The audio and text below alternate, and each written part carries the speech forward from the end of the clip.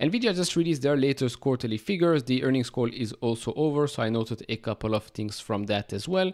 By the way, for those of you that are working at Nvidia, please for Christmas do send the CFO a new microphone because this earnings call was horrendous, horrendous.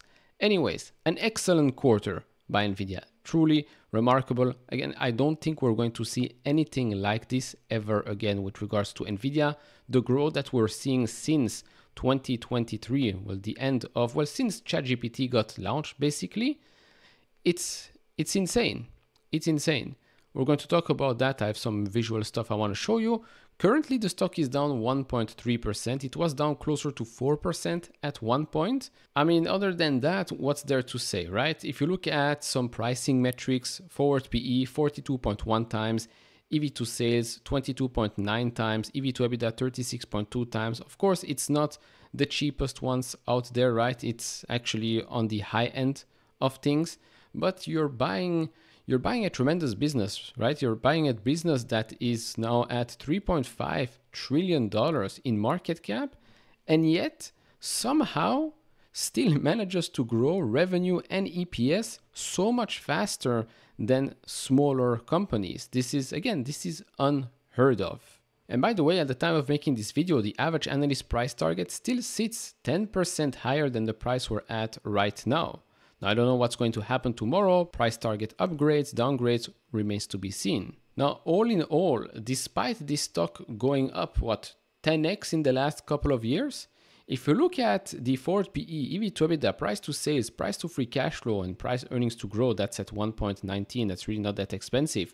But all the others, compared to its five year mean, only price to sales is higher. All the rest is basically the same as the five year mean and even a little bit lower when you look at EV to EBITDA, despite the huge rise in stock price. Why is that? Well, that's just because the business has done something that we have never seen before.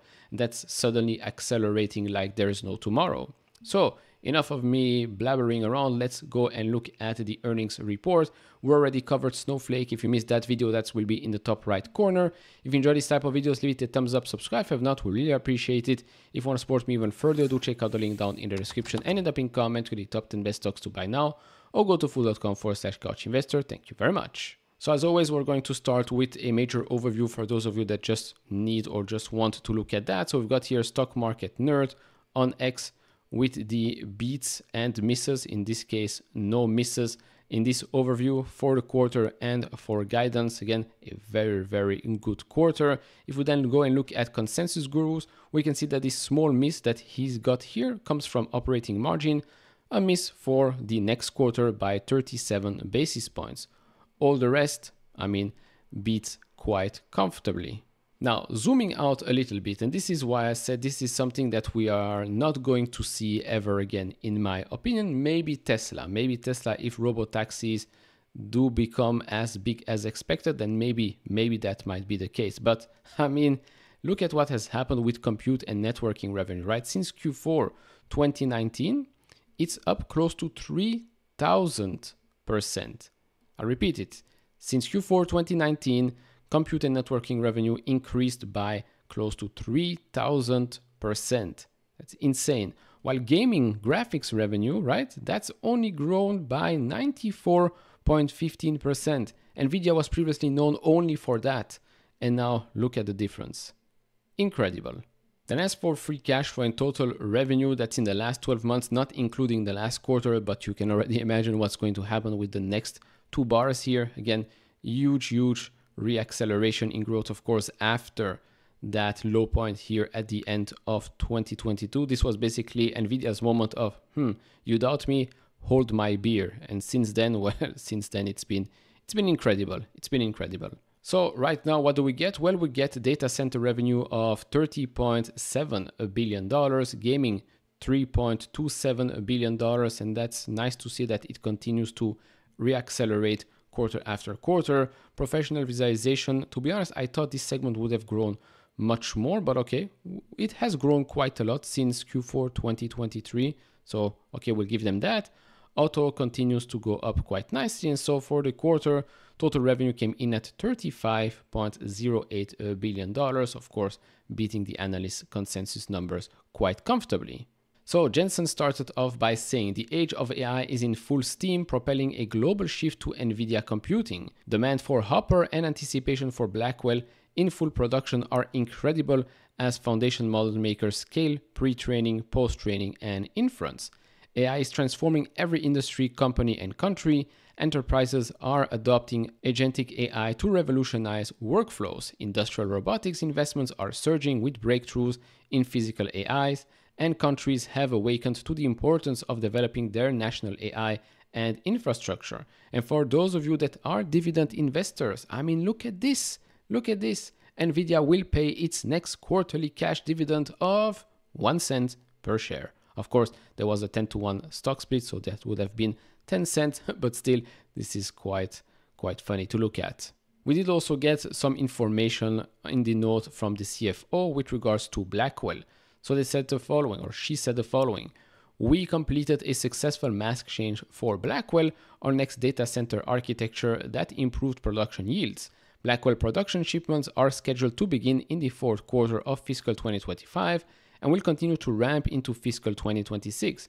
We will be shipping both Hopper and Blackwell systems in the fourth quarter of fiscal 2025 and beyond.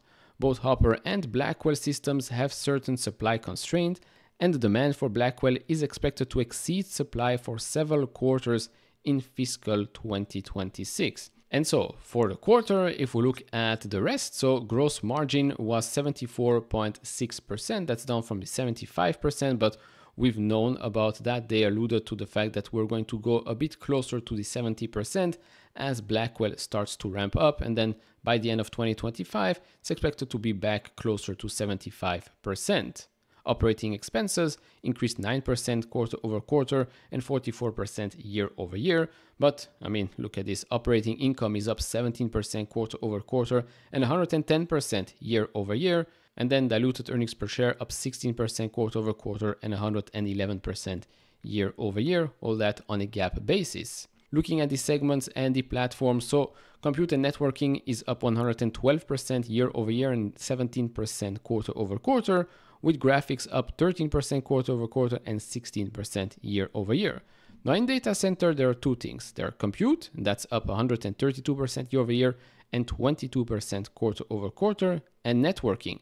Now networking is up 20% year over year, but down 15% quarter over quarter. So I'll have to go over the earnings call to see if I missed something when it comes to networking. Maybe there is some competitiveness issues, Ethernet and stuff like that. Let's see. If you know it, let me know down in the comment section below. Gaming, we've seen that's up 14% quarter over quarter, 15 year over year. Automotive, we've seen some nice growth there, 30% quarter over quarter growth and 72% year over year. Before ending, I wrote a couple of things here. So Blackwell demand is staggering. That's what I said. Demand exceeds supply for several quarters.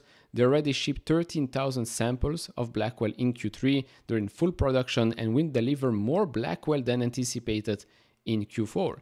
H200 is experiencing the fastest growth and ramp in NVIDIA's history, and they will have low 70% margins at the start of 2025, but that will grow back to around 75% at the end of that year. So maybe maybe that's one of the reasons why the stock is down a little bit. Maybe the market was expecting a little bit more for Q4 and maybe a little bit better for margins as well, but I mean to be honest, how greedy can you be, right? This is this is again jamais vu as they say in French. So yeah, overall what we're seeing here is a stock that's been close to all-time highs in the last couple of days. I mean, it's been at all-time highs last week. So, okay, now we're closer to the 20 day moving average, which sits at $141.3, the 50 day one at $134, and the 200 day one still much lower at $109. RSI is quite high, but not overbought. Overall, if you're an NVIDIA shareholder, I mean, just sit back and relax. If you're thinking about opening a position in NVIDIA, just think about what this company has to do in the future to justify today's price, right? Because if you're buying today, you're buying because you think that it might continue to grow extremely fast. Of course, I don't think it will grow 90%, 80% year over year each and every year, right?